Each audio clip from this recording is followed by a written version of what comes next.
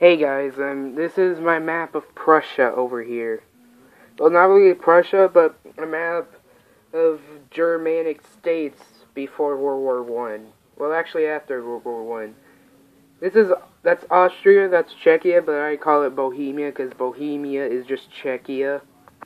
Here's Prussia and some countries that are that are locked that are enclaved inside of Prussia.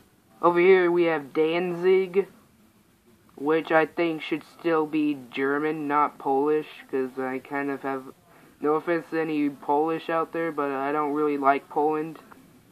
Over here we have Ostprussian, aka East Prussia.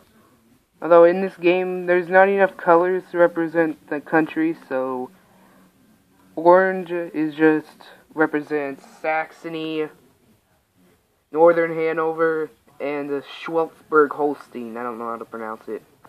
Down here is just some random southern German states that I, that I forgot to add because, like I said before, not enough colors. There is Bavaria, there's Bohemia, and here's German Austria. Legit, German Austria was it was Austria's name before another treaty was signed. Anyways, we got some random. Anyways, over here we have a Switzerland being attacked or raped by the Austrians.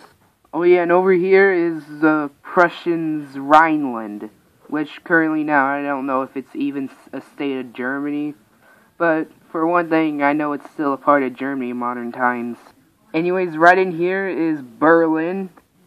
Over here, where that city's over there, that's supposed to be Königsberg which is now just Leningrad in modern times. Down here is Silesia and German Austrian states.